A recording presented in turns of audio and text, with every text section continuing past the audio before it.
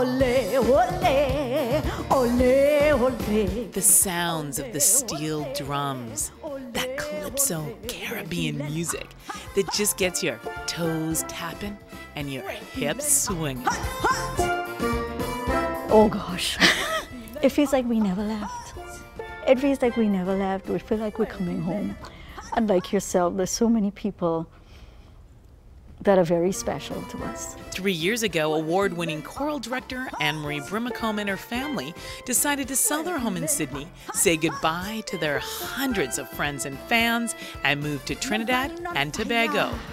My soul on fire, feeling hot, hot, hot. In hopes to use their gift of music to make a difference. Well, she's back and she's feeling hot, hot, hot. The vision was to go back and give back to the community there because Tobago is a small island and there's a lot of opportunity, a lot of need. And um, we're blessed that we're able to do that.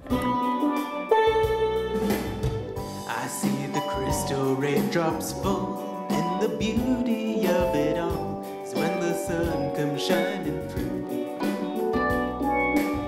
Brimacombe Trio have become one of the most popular acts in Tobago. The majority of Anne Marie's time and energy go to sharing music with the children and families who wouldn't otherwise have access to it. We share the same passion as a family, and it's Peter, Dan, and myself. We have started an organization, a foundation, Arts Alive Tobago, uh, where we are um, providing music education and opportunities in the community and in the schools. This is my island in the sun where my people have toiled since time begun. Anne Marie also started a community choir.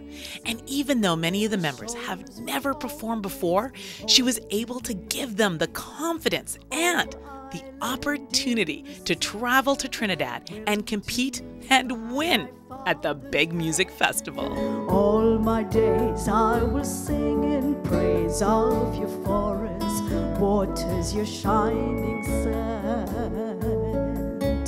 We started a children's uh, performing company, which is, is amazing. A lot of the people, they're so talented, but they just don't have the money to pay for lessons. They don't have the money, money for costumes, and we've put on a lot of big shows, which down there is raising money as well.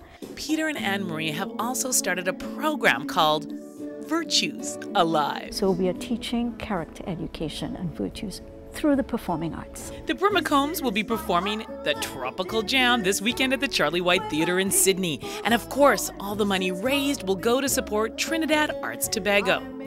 And let me tell you, the show just happens to have a few surprises. We have the, the stunning uh, and hilarious Carmen Miranda sisters, um, Kenny Podmore and Clive Tanner, when we were here and, and produced the, a Nutcracker show for Sidney.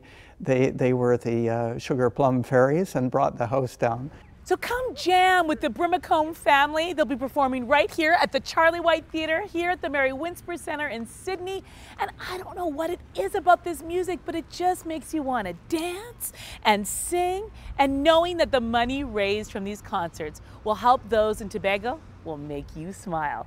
Welcome back, Brimacombes. We are so happy to have you home again. From Sidney, I'm Karen Elgersma.